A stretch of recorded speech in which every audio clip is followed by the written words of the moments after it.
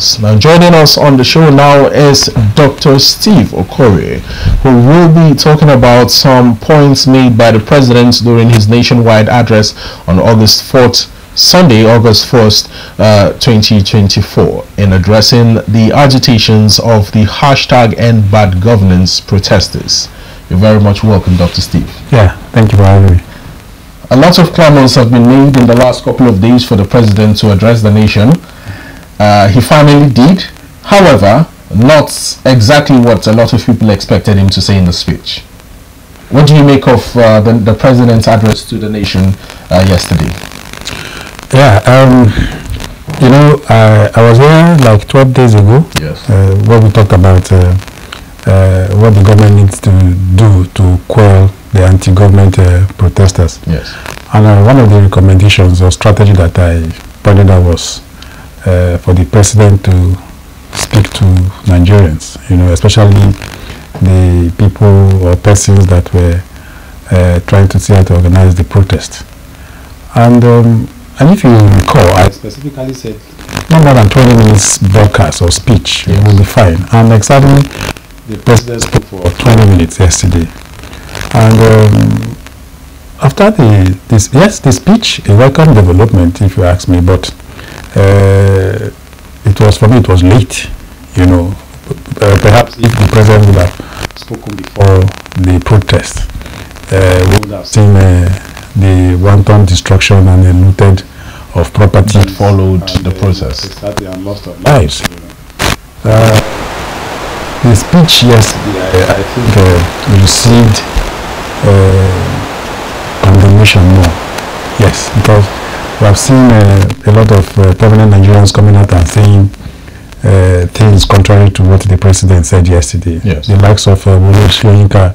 You know, Wole Soyinka didn't, didn't say anything at all before the protest, but he has reasons to come and say one or two things about the speech and uh, Femi Falana and the other Nigerians. You yes. know, I've been following the news and it's more of uh, people not saying good things about the speech. The people that said one or two things about the speech perhaps were government appointees, you know. Uh, for me, the president's speech yesterday, uh, he didn't uh, really talk about uh, what the protesters were asking for or what led to the protest. You know, one of the things why the the protest uh, was held was because of uh, hardship, hunger in the land. You know, and I think that basically two or three factors caused the hunger in the land. Number one is the removal of uh, outright uh, uh, outright removal of subsidy. Full subsidy. Yes, and of course you expect that uh, uh, the uh, price of fuel went over 300 percent. You know, so of thereby course, affected the prices of other commodities across the country. Exactly. Then um, the, the floating of the naira of course, is also a contributory factor.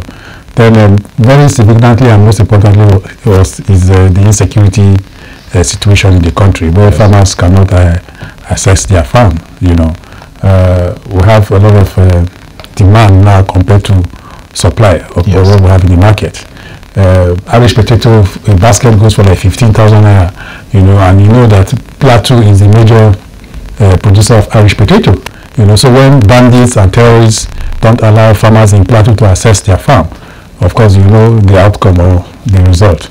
So, um, the president, just what I said, these key things have been addressing security. You know, I know the, one of the reasons is because uh, farmers can't go to their farms and all that. Saying that you are buying um, or you have ordered for 2,000 tractors other implements, uh, incentives for farmers and all that. Yes, you can produce that. You can bring that on board. Yes. But if farmers, if insecurity does not allow farmers to use these implements, you won't get result. Now, now let me let me take you back to point 11 on the president's speech where he said, and I quote, "In the past 14 months." Our government has made significant strides in rebuilding the foundation of our economy to carry us into the future of plenty and abundance. On the fiscal side, aggregate government revenues have more than doubled, mm -hmm. hitting over 9.1 trillion naira in the first half of 2024 compared to the first half of 2023 due to our efforts at blocking leakages, introducing automation and mobilizing funding creatively without additional burden of the people. End of quotes. Mm.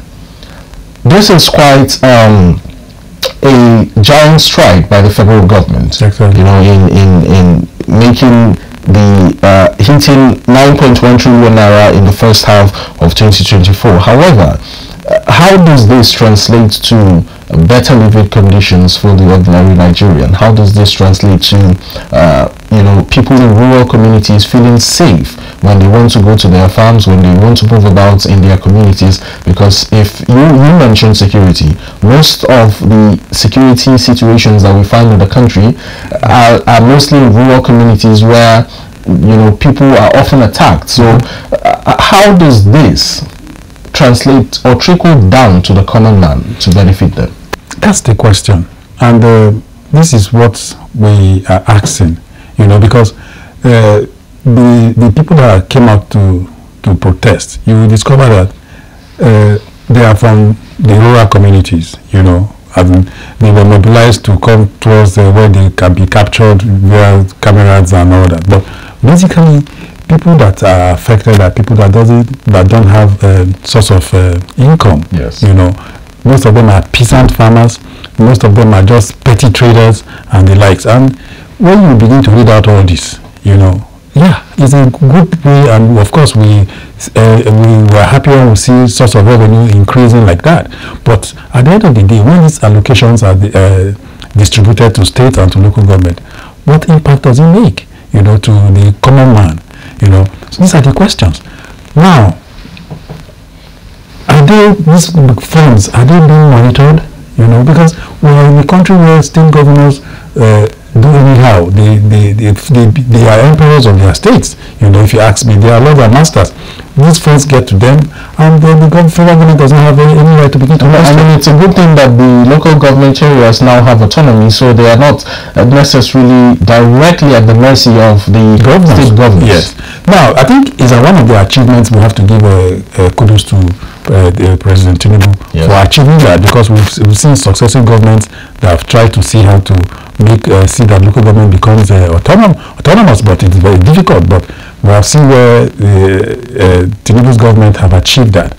Now, local government, uh, uh, um, they are very close to the to the grassroots. You know? yes. So with that, I think we'll begin to see some uh, effects of of what the government is trying to do by reaching out to the grassroots. You know, um, uh, just the way we've been talking about local government autonomy we just hope that the state governors will not still derive other means or try to see how to collect these monies from from uh, from local government chairman. Now, now, Dr. Steve, in as much as the president's speech, um, you know, touched on a lot of concerns in the country, economic concerns, security concerns, uh, real estate concerns, housing deficits in the country, and lots of things. However, some people, or most people, are of the opinion that he did not actually address the needs of the protesters, the 10 point needs of the protesters that they had initially laid out. Yeah.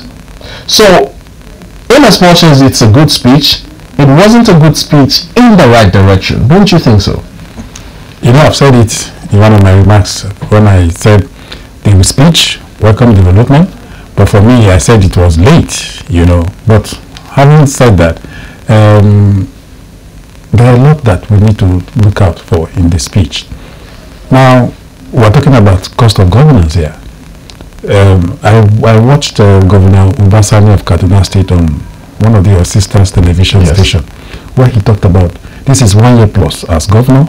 He called his commissioners that no certain amounts that comes to them every month for as uh, bonus or something that about a million or so, yes. he had to remove it that no official car has been bought for any serving commissioner that he appointed.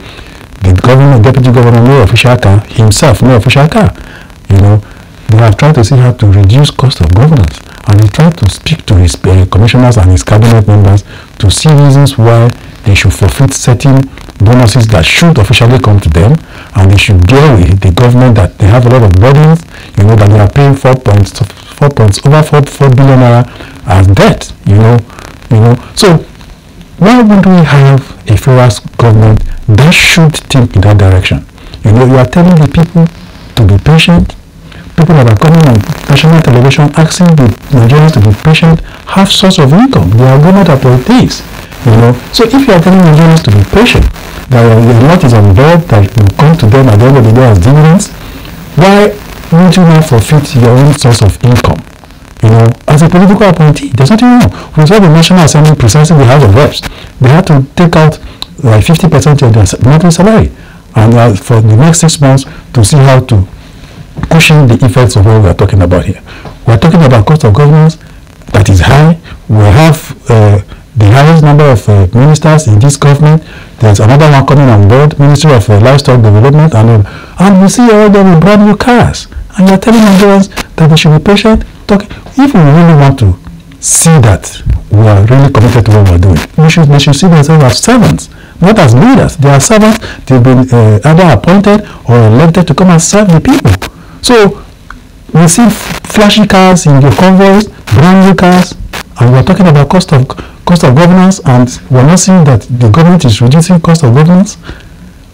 Well, this needs, needs to be practical. It needs to be real for Nigerians to see and be convinced that they really have they really have leaders that really want to take their problems on their head and not in their various pockets. Well, well, well at this point, I, I, believe I speak the minds of many Nigerians when I say uh, th that the president perhaps just did a rehash of you know old policies and and the rest which we all know the 70,000 naira new minimum wage talking about the um, renewed hope city that is going to cut across six geopolitical zones the cng buses that the federal government has promised uh, you know uh, tax cuts on food importation. All of these are policies that the federal government has made in recent times.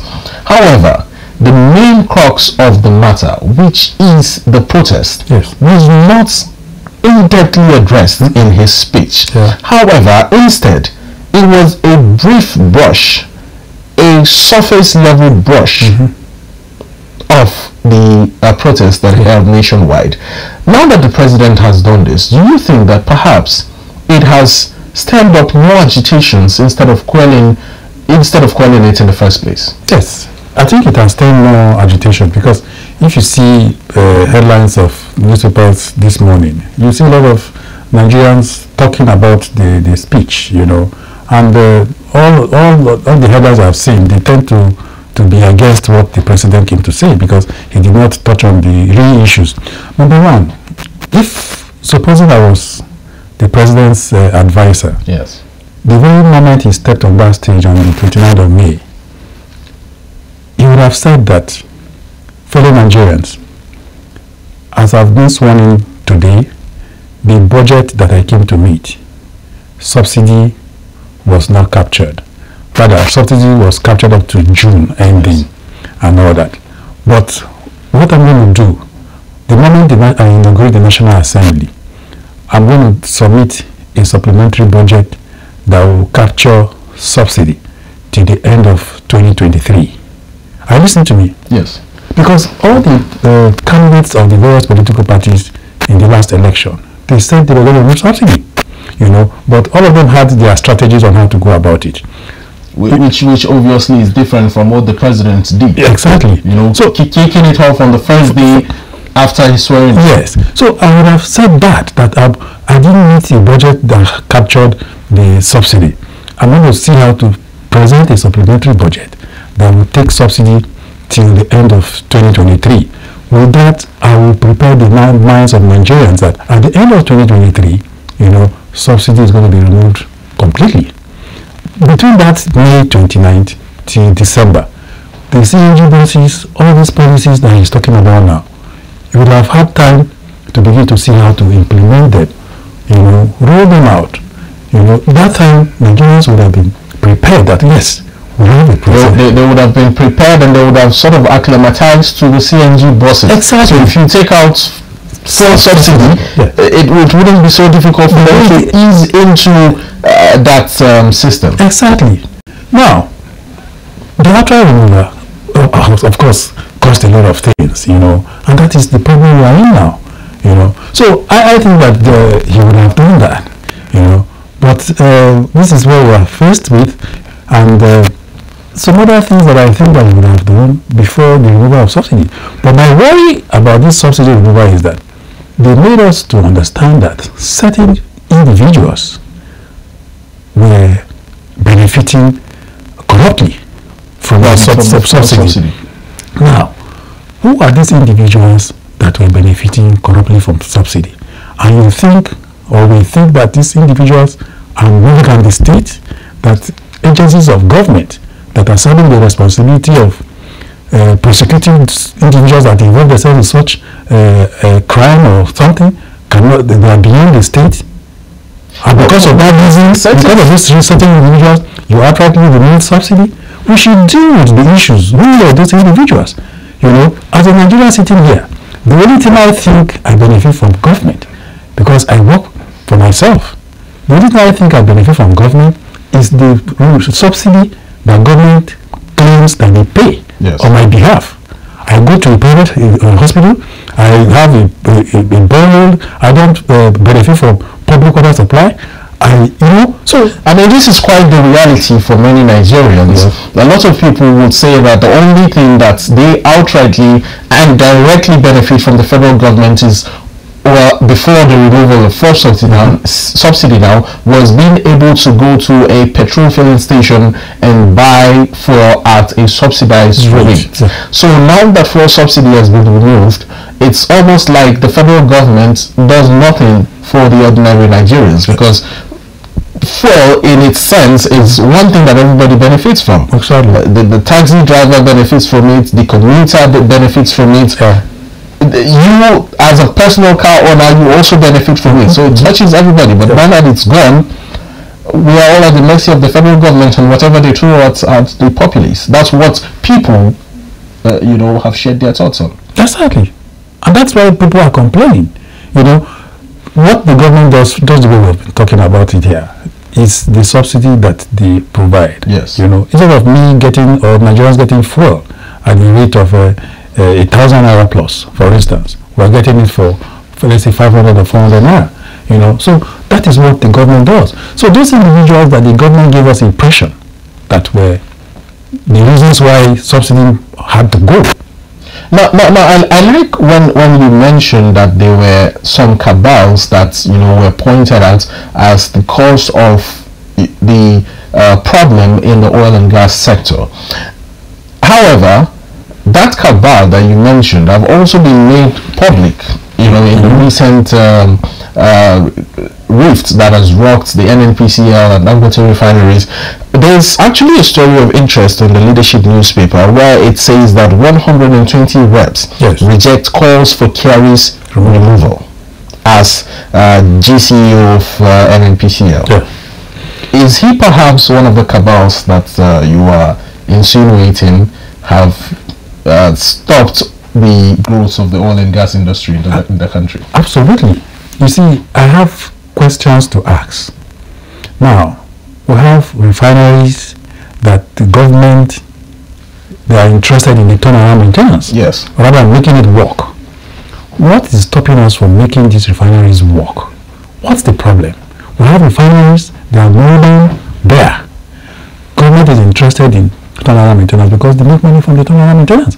The monies that you hear that they service these uh, main- uh, refineries with, you you marvel. You know, now we have Dangote refinery that is out there to see that Nigerians don't buy fuel at the rate that we buy because it will be locally refined here. What's the problem? The uh, chairman, the, uh, uh, what's the full name now? NNPRD or The something. N- NNDPRA, Ahmad Farouk. Yes, I watched him on TV saying that uh, uh, trying to see how to uh, reduce the quality of uh, Dangote's uh, uh, uh, production, you know, and Mele Kyari was standing by his side. So it means that they did it in connivance. Working in synergy. Exactly, that's the point. And a lot of committees have been to Dangote's refinery, Qu- quite, and they came out with a commendable uh, result. Or quite notably, the the, the uh, president of the Senate, uh, Senator Godswill Akpabio, has, well, during the, the height of the rift, made a statement that is quite commendable. He said that uh, those people fighting Dangote refineries and the oil sector are enemies of the state and are sabotaging the growth of the oil and gas industry. Uh, we, we all know what it is. Exactly. How can we move them out of the system, considering the fact that about 120 representatives are rejecting calls for his removal? But my brother, the military man has has been there for a, a long period of time. You know, the president From the days of NNPC to the days of Exactly. NNPCL. Uh, but We're not seeing any difference in, since the man has been there. You know, whether it is a cabal thing and all that, the president is a listening president. When somebody is trying to sabotage his government, you know, the person should be taken out and bring somebody that is ready to work. Yes. The man is there to deliver. You know, he said on in, in his speech yesterday that the box stops from his table. Now, when we see every committee that has been to Dangote refinery came out with a very commendable result that the place is okay, the place is good to go and all that. So what is the problem? That indigenous people will come and see how to uh, bring down an indigenous uh, uh, co- uh, uh, company in Nigeria here. It means when these things happen, you begin to ask questions. Why? And you, are, you, you, prefer to bring in uh, foreign investors to come and invest because of your interest? I am pretty sure that maybe uh, perhaps their interest was not captured in the Dangote arrangement and all that, and that's why they're trying to say how to sabotage the man's effort. I see worry in Dangote's face each time he's on television talking about he has invested so much there. Of course, of course, you know that his uh, banker's uh, money is not. He doesn't have other resources. Most of those resources were borrowed. Yes. You know, and the, the company needs to run for the for for for Dangote to be need to be made as well. exactly. So why are they sabotaging the man's effort? Well, well let's let's let's um, move away from that a little bit, and so we don't digress too much, and back to the nationwide protest. Uh, when the protest began on the first of August, we saw um, violence rocking major parts of the country, especially the northern parts of of Nigeria. Uh, in places like Kano, in places like Yobe, there was even a bomb blast in Maiduguri, in Kaduna, there was you know mass uprising, and somehow the Northern Elders Forum have come out to say that there was no mention of insecurity in the North by the president during his nationwide address yesterday, and we all know how it went down in the northern parts of, of the country. Uh, similarly, Afenifere is saying that the president is sticking to anti-masses policy, still commenting on his uh, nationwide broadcast. Let's first take up uh, the statement by the Northern Elders Forum where they said that the president is not speaking on the insecurity in the north. What do you make of this? And why is he silent? Uh, insecurity is a, a national thing. It's, some, it's something that uh, that is caught up with all the states and uh, the six geopolitical zones. So it's not about uh, the north alone, you know. And uh, you see, when this um, uh, political non-political organization uh, talk, I, I want them. I feel that they should speak from the perspective of uh, uh, a nationalist uh, view. You know, they should see Nigeria as uh, an entity that belongs to all of us. They shouldn't begin to because yes, they are area consultative forum, yes, but insecurity is a general thing. You know, so they shouldn't be specific about the north, north, north, north, north. You understand? They should be patriotic when they are making certain comments. You know, that's the point I want to say there. Now, um, the president for me, just the way we've been talking, uh, I feel that uh, he's a man that means well, but I, I think that certain persons in his government are trying to see how to uh, sabotage the man's effort. That speech was prepared by somebody, Yes. you know. So the speechwriter would have taken his time or her time to see how to capture the real thing, you know. Well, perhaps written by somebody but directed by the president. Yeah, Th- There has to be a directive by the president on what the speech should capture. I, I, don't think the president's speechwriter would outrightly write what is on his mind for the mm. president to read. It has to come from the president's mind. Yeah, I, I, yeah, I agree with you, but it's not the content. The headings, perhaps, perhaps the president would have looked at it, but the content you know, Itself. itself, the speechwriter will now begin to look at the headings based on what the president they are decided to go. But the content is now left for the speechwriter to begin to see how to. But uh, uh, unfortunately, I saw that the speech leaked You know, people about, about, about 24 hours. Yes, people had that speech before yeah. the president read it. I, I, I, was on one uh, uh, WhatsApp platform where uh, the speech was shared, and as the president was reading his speech 7 a.m., I was trying to see if the what was shared the speech was correct. Yes, and exactly what the president was saying. So in it, there's no confidentiality. Something is wrong. I think the presidency needs to probe that. They need to investigate that. Why should the president's speech leak 24 hours before? We saw that during the time of yes, we saw that during the times of uh, President Bo, former President Buhari. Yes. I don't think there's no confidentiality. You know, at least the speech should have come out after the president's broadcast. So I think there's something wrong. You know, in the government, the government, the president needs to look at that. You know, and and and find the mole in you know in the presidency. Yes. Well, still staying with the hashtag End Bad Governance protest, uh, following the president's address to the nation yesterday, the 4th of August, protesters have once again come out to occupy Abuja and other parts of the country, as seen captured on the front page of the Daily News Hub this morning. On the front page of the Daily News Hub, it reads with the headline story, hashtag end bad governance. Protesters Sean Tinubu's plea, re-strategize, mobilize to occupy Abuja today. As Soyinka Falana, protest organizers knock president's speech. Similarly, on the front page of the Nigerian News Direct, you'd find again hashtag end bad governance protest uh, hashtag end bad governance. Protesters defy FG as demonstration enters day five with renewed vigor. Dr. Steve, yes. this is day five. Hmm. There is heavy presence of security forces in the FCT. I, for one, while driving to work today, you know, saw a lot of military checkpoints, a lot of armored vehicles, military personnel on the streets of Abuja, and I believe the scene is the same across the nation like I mentioned earlier, the president's speech, instead of quelling the agitations, has instead fueled it the more. Mm.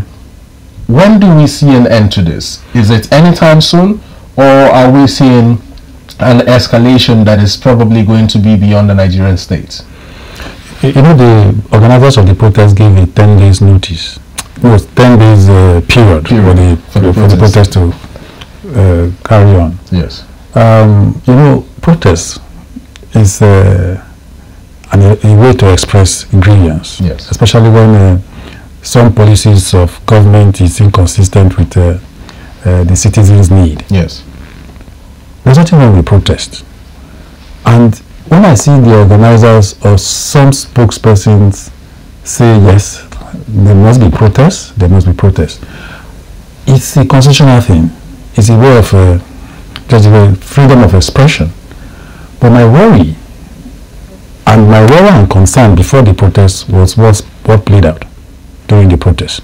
Looting of personal and uh, government properties. Yes. You know, the organizers of this protest would have passed this message to uh, Nigerians that uh, were ready to come out to come and protest. Yes. Let them know that it is protest and it's peaceful. There are certain things that comes with a peaceful protest. One, you don't obstruct the movement of other Nigerians. You protest, you block the road. It is wrong. As seen in Lagos. It is wrong. You block the road completely. It's not everybody that is protesting. You pave way for people that want to go about their businesses. Businesses were shut down. One, because uh, out of fear for their properties not to be looted. But despite that, despite the fact that they lost their shops and all that. Thieves, hoodlums amongst them. There was still mass looting, especially in Kano. In, in Kano, the, there were pictures of you know people looting stores and offices. People had chairs on their heads, AC compressors. Computers. I mean, as funny as it might sound, but although not funny, I saw someone with a, a, a signboard. What are you? What exactly are you doing with the signage? You didn't see the one that was pulling down uh, the traffic light? Hitting it to bring it down by all means. Wreaking havoc to government establishments and, and uh, infrastructure. But that is no longer protest. You know, for me, along the line, the protest now became a riot. I've always mentioned that there is a thin line between protest and riot. Mm -hmm. and somehow during the first day of the protest, we saw a crossover from protest to rioting in most parts of Exactly, the country. exactly. And, and I've asked other analysts who have, you know, graced this show, how do we draw the line between the protesters and the rioters? Now I throw it to you again, Dr. Steve. Yes. How do we draw the line between protesters and rioters, and how do we address them adequately?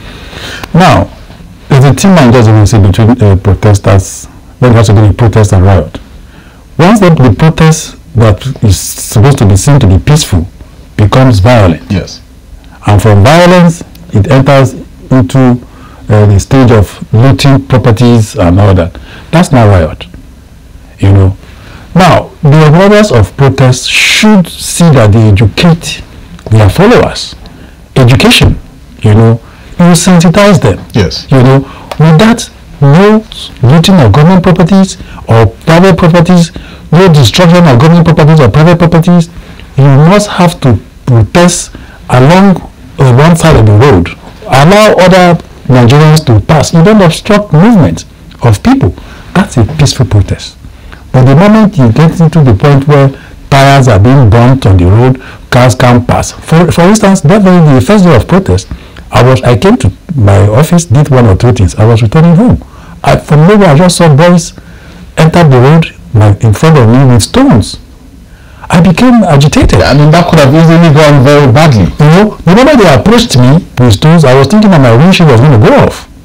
The moment they approached me, they came and they said, "Show us love, show us love," and they, I had to give them money, you know, to save myself. That's not a protest. That's not a protest anymore. You know, so I think that when organizers of protests like this come on air, they need to take the message to their people, followers, and tell them that this is how to go. And that's why the federal government complained about not knowing the leaders of this protest. It was leaderless, if you ask me. There was no clear uh, Indication. indication that we were the leaders or we are the leaders. But subsequently, we, we saw human rights activists and, and the likes coming out to protest with the protesters, thereby confirming hmm. some speculations that, you know, they had leaders. Yeah, but you know, now the president is asking for dialogue. Who has come up to say, okay, we are the leaders and we're coming for dialogue? Nobody. Nobody. No, nobody yet. Yes, no, but this is like 24 hours gone, and we expect that uh, people should come. We, have seen protests where we saw the likes of Wole Soyinka, uh, Femi Falana, and the likes, Yes. you know, heading protest. You know, when they say, okay, leaders come, let's talk, you see people like that will come, confront the government, and they will discuss. But right now, we haven't seen anybody.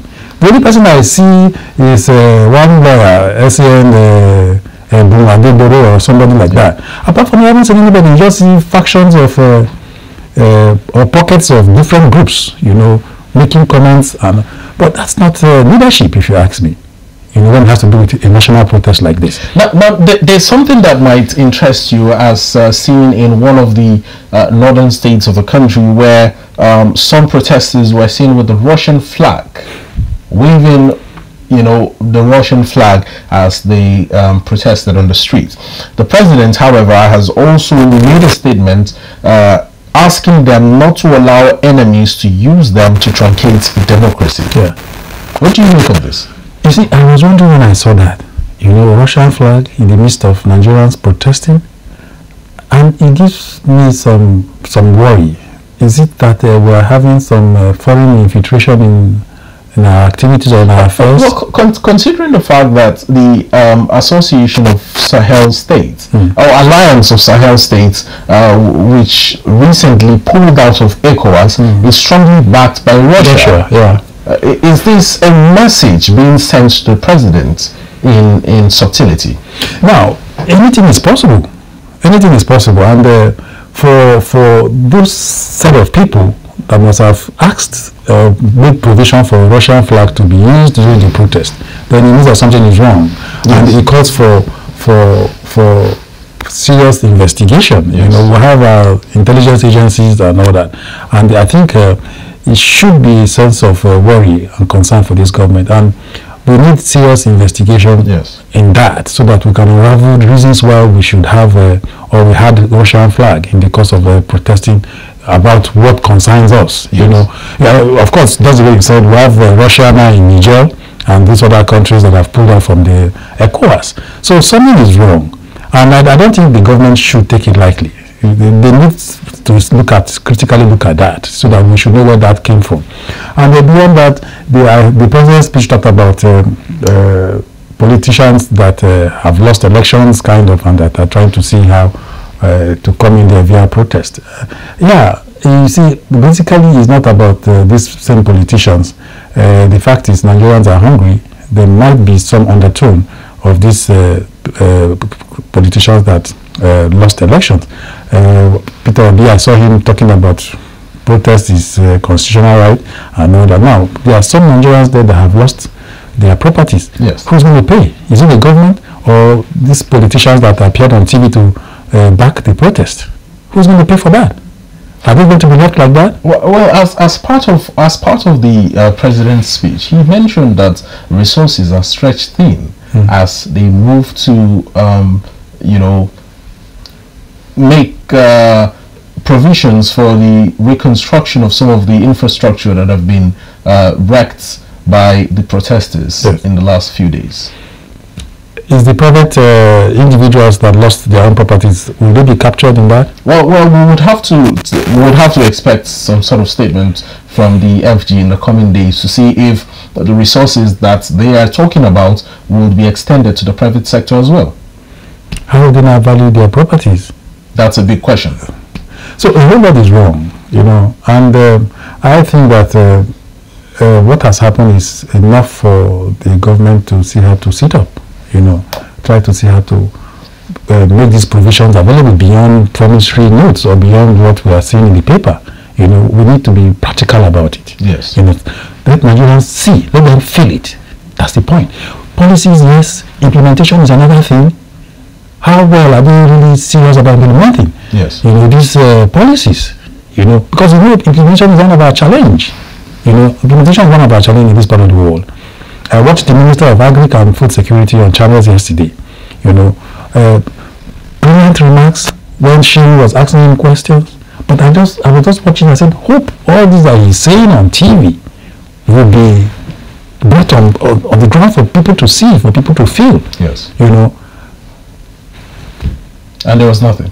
we are still hoping, he said, before the, the end of this year, things will change, prices of goods will go down and all. Then beyond that, there's this federal consumer, Right. Uh, that uh, consumer protection council. protection. Yes. What is that agency of government doing?